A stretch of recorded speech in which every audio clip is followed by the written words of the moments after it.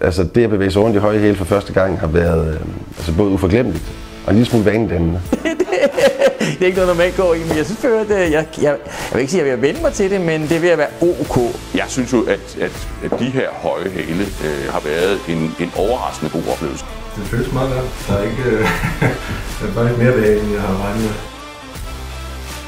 At få mere diversitet i de danske bestyrelser, det kræver jo selv sagt noget af dem, der udpeger bestyrelsesmedlemmerne. Det er ligesom der ansvaret ligger.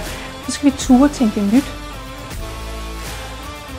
Altså bestyrelser, der har en høj grad af diversitet, har jo øh, mange flere perspektiver øh, på det samme emne, end de bestyrelser, der ingen diversitet har.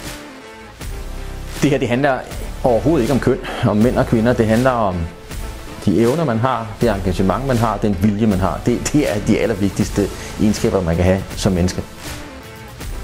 Så selvom at vi ikke er og er et eller andet øh, godt eksempel på, hvordan man skal gøre det, og vi, vi går for os, så prøver vi at arbejde aktivt med det, men er ikke der, hvor vi bør være og hvor vi skal være. Øh, det synes jeg, at, at der forpligter det os til nok i højde selv nu. Det må ikke blive en doven diskussion. Den må gerne krasse, øh, og der må gerne være et, et, et element af øh, sådan, måske en lille smule oprør i forhold til, at, at vi her er et sted, som vi ikke holder.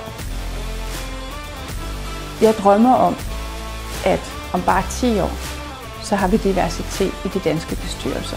Så er der ikke bare blevet plads til kvinderne, der er også blevet plads til de køn, der ligger ind imellem, til forskellige aldre, til forskellige etniciteter, religioner.